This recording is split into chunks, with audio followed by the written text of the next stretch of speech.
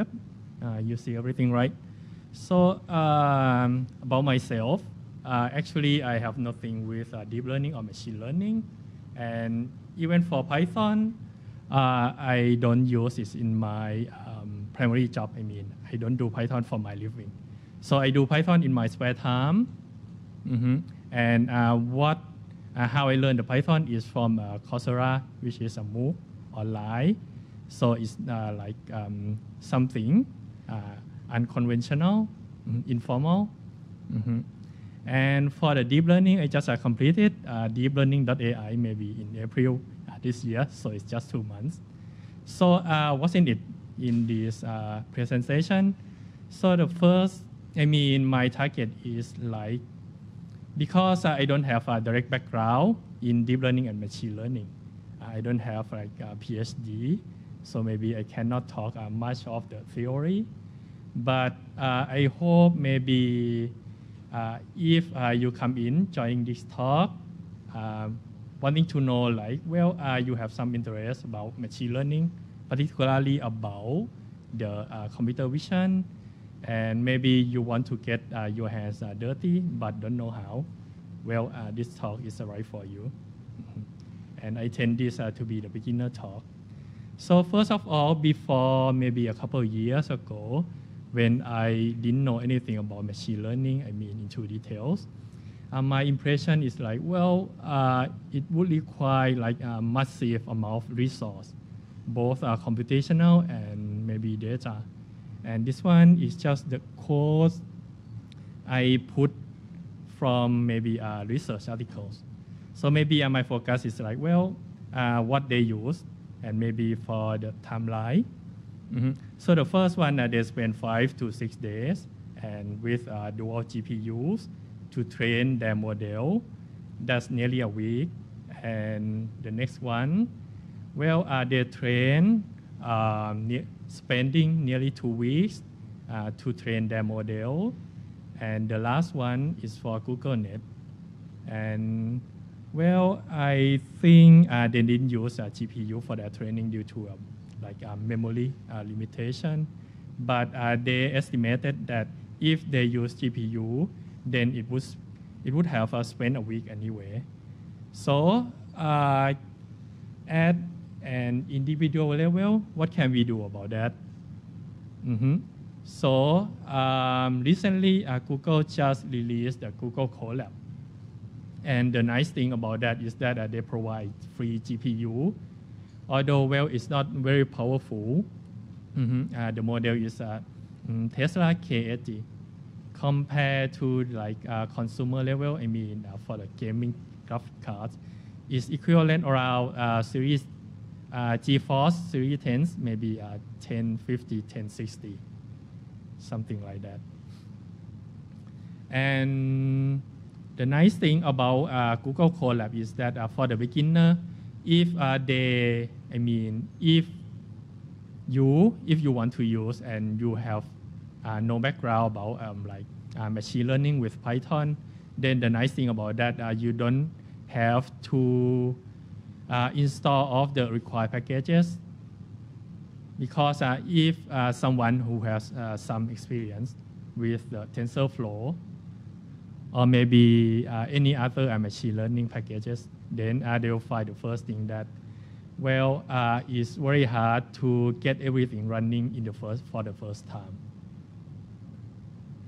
But uh, the drawback of the Google Colab is that uh, if you want to upload some data, then uh, you need to do via what I know so far is Google Drive. And the official uh, approach is not very straightforward because uh, they use a PyDrive package. And well, uh, we cannot refer to the file name directly in your uh, Google Drive. Instead, uh, we use the file ID, which is uh, something like, well, um, hard to remember for human beings. Well, there's another API called, I think, um, OCLML. Uh, I can't remember the name, but uh, what it does is just to like simulate um, Google Drive as one of the uh, drive in the VM that is uh, created when you enter the Google Colab. Mm-hmm. And that way, well, well um, if uh, you play with a Unix, then uh, it's like uh, you mount the Google Drive in your VM. So it's just it appears as a one folder in your VM in your Google Colab session. So um, once I think maybe um, Google Colab should be the um, first starting point. But once maybe uh, you are more familiar with uh, how to program uh, to do machine learning stuff, then uh, maybe it's time to for you to buy uh, your own computer, which is uh, not very bad because well um, these are the laptops I browse to um, the Banana IT shop. So maybe if um, someone who uh, who doesn't know much about like uh, the business in Thailand is the uh, IT store, and um, well they sell like IT stuff, mm-hmm. and this these are the laptop at the mid range. Mm-hmm.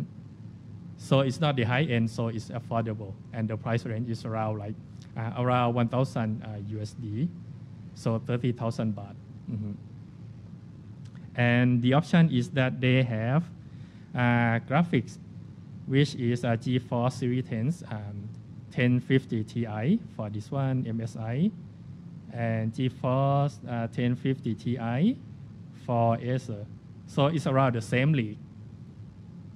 Mm-hmm. And one thing, if you want to maybe purchase um, something on your own to do the machine learning, I would strongly recommend to buy a graphic card from NVIDIA. Not that uh, I have, well, I have uh, any preference uh, on NVIDIA, but uh, they have uh, entered the league for a long time, and their driver is like uh, is the most popular compared to the other brand. I mean AMD. So um, back to the introduction. So I think it would be a crime if I have not talked about um, the basic foundation of the uh, neural network. So basically, um, is the uh, simulation from the neuron cell, and for the neuron cell, uh, what it has is the uh, dendrite mm-hmm, uh, on the left side. So this acts as an input of the cell, and then it uh, sends something out from the synaptic. So what we do, uh, what we simulate is uh, in the form of this perceptron. Mm-hmm. It's it's somewhat an old name, mm-hmm, but you might still hear it. But well, actually, it's a neuron single unit. So how it works mathematically is that on the left side, it's just like it takes some input so maybe uh, this one, I'm not sure if you see the cursor. Okay. Mm-hmm. Um, the, the topmost is uh, like I suppose uh, is uh, x1, x2, x3, and then uh, there's some weight mm-hmm. uh, applied for each input. And actually, uh, there should be uh, a bias. Maybe the image I have taken um, is not good enough. And so on the left side, if you know something about math, then it's basically just a linear function. And then on the right side, uh, we apply something called activation function so that uh, the neuron um, uh, have some property we call nonlinearity. Otherwise, then when we stack up the neuron network, I mean each uh, neuron unit uh, at the higher level, then uh, it, can, it cannot do much mm-hmm, apart like um, just simply from a linear function. So this one is just like, well, uh, the filter we apply so that it can do some complex thing that maybe I cannot fit into the linear function very well. So putting the, uh, the thing together, so this one is a simple neural network. It has uh, two inputs and then uh, three uh, neuron units and then uh, mm, for, the fir- for the first layer. And then on the, on the last layer, uh, it has uh, one output. So, well, uh, you know, to explain it uh, briefly, um, the first one uh, takes uh, input x, y um, for all three units, and then output something to this one, and then uh, for this one, uh, the input is the output from the previous layer. Just that. Simple. Mm-hmm. And then how do we uh, translate that into programming in Python? So one of the uh, framework um, many people use is called Keras. It's quite high level. And actually, uh, if you try it, you don't need to know uh, what is, I mean, uh, the um, technical, I mean, theory foundation under the hood. So it's well, very well abstracted. And the nice thing is about Keras is that uh, it, the package, the framework also provides a pre-trained model. So this one is the um, uh, well uh, what we uh, usually see mm-hmm, uh, for the Keras. Mm-hmm. And this one is the size. and mean, um, if uh, you choose to download this model, then uh, this is the, the, size of the um, each model, pre-trained model. For the top one accuracy, this is a measure from ImageNet. ImageNet is the uh, image database containing over 1.2 million uh, images mm-hmm, and are divided into 1,000 categories. So for the top one, accuracy means well, uh, how will each model perform? I mean, uh, if uh, we put something, then um, how well it can predict one, I mean, the object out of uh, 1,000 category. Mm-hmm. And top five uh, is quite similar, but it's like uh, the coverage is um, extend to uh, instead of the first one into the top five. So maybe uh, if you input something and then if um, uh, the result, the prediction is uh, in the top five, then this one is the accuracy of that. And the last one is the number of parameters. So this uh, pre-trained model is quite big compared to like uh, the previous one. Mm-hmm. Because uh, for this one, if you count the parameter, it's just like a handful, uh, around a dozen. Mm-hmm. So this uh, pre-trained model is quite powerful. And then uh, it's time to build the first model with Keras. So first of all, what we need to do is to import the required packages. So this one, actually, this one is not about Keras. But uh, for the Keras, well, I forgot to uh, say that, well, I can have like uh, many backend. TensorFlow is one of them, and maybe uh, you can use uh, Theano. But that is uh, implemented in C++, or maybe a CNTK, mm-hmm, which is the, um, from Microsoft. Microsoft on Azure, it has a service called CNTK so we can choose uh, the backend with that. Mm-hmm. But uh, for TensorFlow, uh, because it's implemented in Python, so it should be a most convenient way to implement it. And the next one is NumPy and Pillow. Pillow, well, actually, if you do or if all you do is about the training, then you don't need this because well, it's just like a utility about uh, mm, image processing. And the next one, uh, because uh, my demo is going to use a MobileNet. Mm-hmm. The one is quite small, mm-hmm. just uh, 17 megabytes. And uh, the performance is not so bad. Mm-hmm. And well, uh, there are some uh, pre-built function which I also take them in like a pre-processed input. So you don't need to worry much about, well, I got an JPEG image and then I heard that, well, um, you we need to convert into like uh, some form of matrix, uh, multi-dimensional array. Uh, how do I do that? So uh, we already have the uh, built-in function take care of that. And decode predictions. Uh, maybe I will explain this later. Mm-hmm. Because for the prediction for the model, it comes in a form of, the, of a vector of a floating point number. So it doesn't have uh, doesn't give uh, anything meaningful unless uh, we apply something. Mm-hmm. So this is uh, how we uh, convert uh, the input image. So I have this image. Mm-hmm. So, so maybe uh, let's see it later. Mm, um, the picture of that. And for X, uh, eventually uh, is the input converted from the um, input image. And then, oh, okay, I uh, omitted the, the first part. So for this one, um, uh, how do I build a model? The most simplest thing is to just like uh, submitted uh, one command. Mm-hmm. So for this one, I choose to use a MobileNet with a pretrained weight for the ImageNet. and then uh, we already have uh, the input. So um, now uh, it's time to do a prediction. Mm-hmm. So this one uh, is uh, very simple. Mm-hmm. So all need to do is just like uh, take the object my model, and then um, use the method predict x, and just that.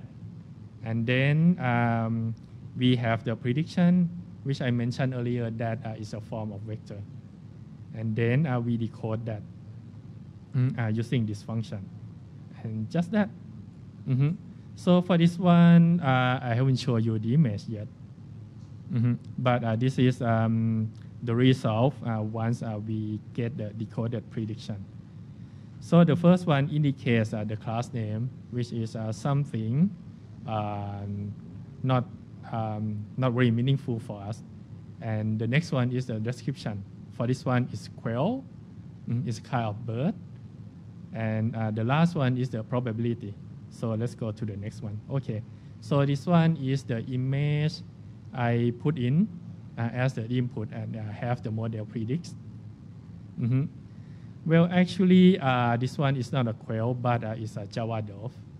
And uh, the class uh, is not in the pre-trained model, I mean, of 1,000 category. it doesn't have this one. So the problem is how, how can we customize the pre-trained model? Mm-hmm. And the answer is yes, uh, thanks to uh, what we call transfer learning. So we don't have uh, to train the entire 1.2 million images, mm-hmm. but maybe uh, we uh, take the existing uh, pre-trained model available on Keras, and then maybe just adjust the top layer. For this one, um, is the visualization of the how neural network works. So this one uh, on the uh, left-hand side uh, is the um, bottommost layer, I mean closest to the input. So as you can see, what it recognizes is just like a very abstract, just a shape of line. Mm-hmm. And then once mm-hmm, uh, we go further, further up, uh, closer to the output, then maybe um, we can see like um, uh, the uh, entire image. I mean the subject we uh, we know. Mm-hmm. So for this one, I I took this one from the very old paper, and uh, is among the first uh, paper that attempted to explain about like uh, what uh, neural network sees. Mm-hmm. And for maybe uh, today, uh, if you are interested about how neural network works, maybe you can search for DeepDream keyword. Mm-hmm. So it's the also, also like the attempt to visualize uh, how neural network works. So um, we already have uh, the uh, pre-trained model. So this one is the how do we apply, I mean, how do we customize? Maybe like instead of 1,000 category mm-hmm, from ImageNet, which um, uh, it may or may not include um, the object. I mean, uh, we want to classify. Mm-mm. We use that um, for this one. Uh, is the other command include top is false because uh, we don't really want that. Mm-hmm. And then we build uh, our top layer on our own. So for this one. Um, uh, the principle of uh, transfer learning is that uh, if uh, we already have a pre-trained model, then uh, we try to stick with that uh, parameters in the previous model. So this one is actually simply to uh, set the flag to non-trainable. So that means uh, if uh, we train the model, then uh, the um, layers downward will not change uh, during our um, training iteration. And for the last layer, uh, this one, mm-hmm, we just uh, be specific about, um, uh, we want uh, the layer name, and in this name uh, is in one is one of the layer in MobileNet. So uh, if uh, I have time left at the end of the session, then maybe I will try to, I will show you some live demo. Mm-hmm. And then for this one, um, we start to add our customized layer. Mm-hmm the format is in uh, functional programming, so maybe uh, if uh, you are not very familiar with it, then um, mm, uh, it's kind of like uh, look um, funny. Mm-hmm. But basically, uh, what I what I do here is just to add another layer called global average pooling, because um, the last layer is not in one flat dimension, and this one is just like doing the pooling. If you know about that, then it's just like, um, well, um, simply talk, it's just like uh, you resize the image. So maybe uh, you have like um, image at the size uh, 400 by 400, and if you do uh, pooling with uh, 2 by 2, then the size is reduced, is uh, reduced by half. I mean, the output will become uh, 200 by 200. Mm-hmm and then uh, we get uh, we add the dense layer. This means a fully connected layer, mm-hmm, which is uh, the very uh, classical form of uh, neural network layer. And we add the dropout. So uh, what this does is to prevent overfitting. Mm-hmm. Because when we train the network, then we divide the set, we split the set into the training set and test set at least Mm-hmm. And maybe uh, if by by the name uh, of thing that means uh, the model uh, performs very well on the training set, but uh, performs uh, quite poorly on the um, test set. Mm-hmm. So maybe uh, this means, and for the dropout, well, the principle is like um, if you listen to the session this morning by Kun Prachaya, it's like uh, if um, we have the brain, brain damage, what our brain does is that, well, um, if uh, our part of brain is damaged, then uh, the other part will try to take care of the um, uh, what uh, the damaged part is doing. Mm-hmm. The principle is, that, is like that. And this one, uh, we got our final model mm-hmm, on the last slide. Oh, I mean, um, sorry, I forgot the last layer. So for this one is the uh, last layer, which is um, well because uh, it's a binary classification. I mean, um, it doesn't work in the way that uh, if we put some image, then the answer is yes and no. But uh, we want to put like if we put uh, this image and we have like uh, five categories, then which one of them is likely to be? Mm-hmm. And then we compile and what we define here is the loss function. Mm-hmm. And cross, uh, cross entropy, if uh, someone has uh, some background in statistics, then um, is uh, like uh, how to measure um, the performance of the model. And optimizer, uh, there are many optimizer. The most simple one is SGD, uh, that stands for stochastic gradient descent. Mm-hmm. And this one, uh, because uh, we have come a long way, then uh, we have uh, more and more optimiza- uh, optimization method. And, and, and this one um, is, um, well, I would say performs better than SGD. And my, you might see the other one, that is uh, IMSF prop. Mm-hmm. And SGD with uh, momentum. Mm-hmm. And this one, Adam, uh, mm, combines uh, um, the good point of uh, both methods. uh, both approach uh, into one. And metrics we use is uh, accuracy. So that means uh, if uh, it predicts correctly, then I give the score. And if uh, predicts incorrectly, then it doesn't um, have anything about that. I mean, out of 100 prediction, if it predicts correctly 80, then accuracy is 0.8. The next thing is about uh, how to get the data. That's, this is uh, one of the challenge on uh, how we build a model. So uh, if you are starter, then uh, the place, I mean the source I recommend is to look into the Kaggle. They have a section that store um, the data set and they have uh, quite a bunch of the image data and you can download that. I also do that in this um, presentation which uh, the data set I choose is the um, flowers. Mm-hmm. And um, how do we import into uh, image? Uh, I mean, uh, how we feed into the model, we have the utility called image data generator. Mm-hmm. But uh, what it requires is that we need to split uh, the data set into two portions. The first one is for training and the other one for a training. So which is uh, different from um, built-in data, data set because um, the utility, utility can split that data themselves. So uh, that's more work we can do. And actually, uh, if you browse through the internet, uh, someone has done has already done the job.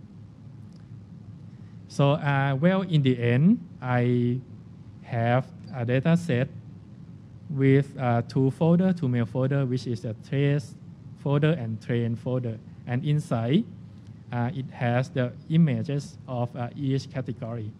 So this one is the flowers uh, we, are we are training. Mm -hmm. And let's take a look into that, uh, into the code. The first one is Mm, how we uh, configure um, the data for training. So for this one, um, because uh, we use uh, something called data augmentation to increase the number of training data. Otherwise, then uh, our data will be uh, can be too small, and that's uh, not enough to train a good model. So this one is the configuration. rotational change is like uh, if uh, we have straight image, then uh, you tilt the image uh, up to 40 degree, left and right. Mm-hmm. And width shift uh, means uh, if you have the straight image, then you shift left by a bit, mm-hmm. 20% at most. And also a height shift is the same. And shear range is like to distort the original image and zoom range is a zoom in, zoom out, uh, so that uh, you can have like uh, different size of uh, subject from the same image.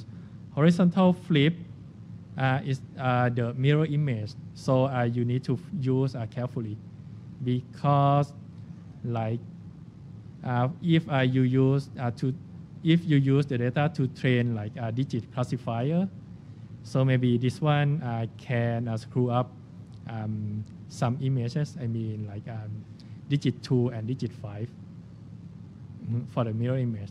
And there's another option called uh, mm, vertical flip, uh, that's the same.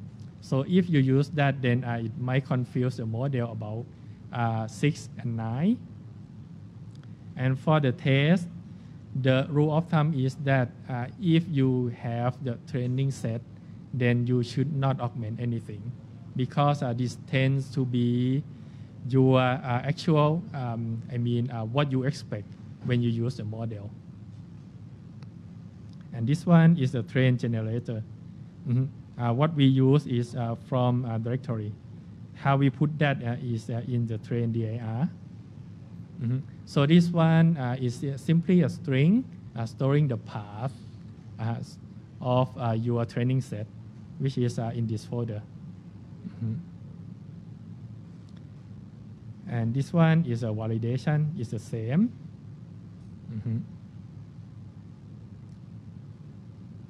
Okay, so it's now for the training. I think maybe I better show you this.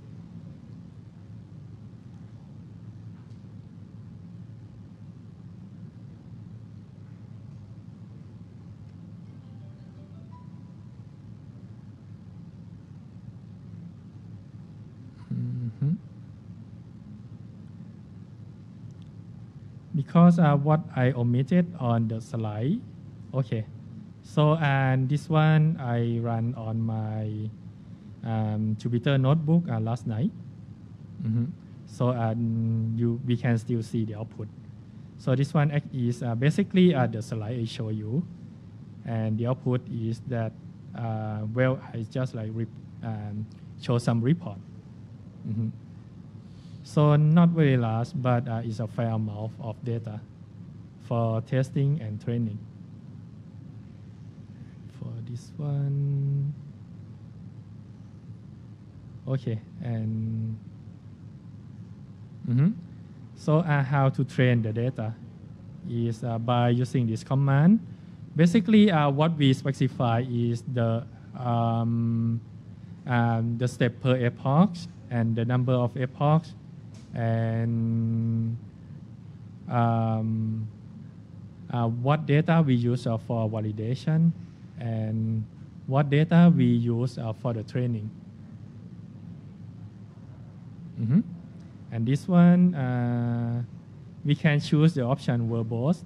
Uh, for two, it just shows the result uh, after the each uh, epoch end. Mhm. So for this one, um, uh, mm, what it shows on the first column is the time taken. So each step takes two minutes, so not very long. And in overall, uh, it takes um, well uh, less than 20 minutes.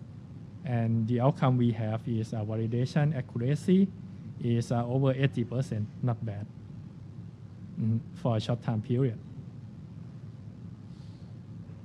Okay. Mm-hmm. And uh, so maybe I go back to Jupyter Notebook. Mm, where's it? Ah. Mm-hmm. So uh, with uh, 80%, uh, we might believe, well, uh, it's good enough. So I just I pick some random uh, images. Mhm. And then because uh, we have um, the new top layer, so the predict class uh, we cannot use anymore. So this one is just simple class prediction. Mhm. Otherwise, uh, what we know, I mean, after the prediction here, uh, is just um, the vector like this, which is uh, not very meaningful. Mhm. And for this one, um, the model predicts as a tulip, so it's not very, uh, it's not correct because uh, this one is actually a dandelion. So the odds that uh, out of uh, five images, uh, there, there should be one that the model predicts incorrectly. So that's more work because uh, if we want to improve the model, uh, one way we can do is uh, maybe to increase the number of epoch or maybe doing the fine tuning. Mhm. So uh, if you look at the model summary here, mhm. oops, sorry.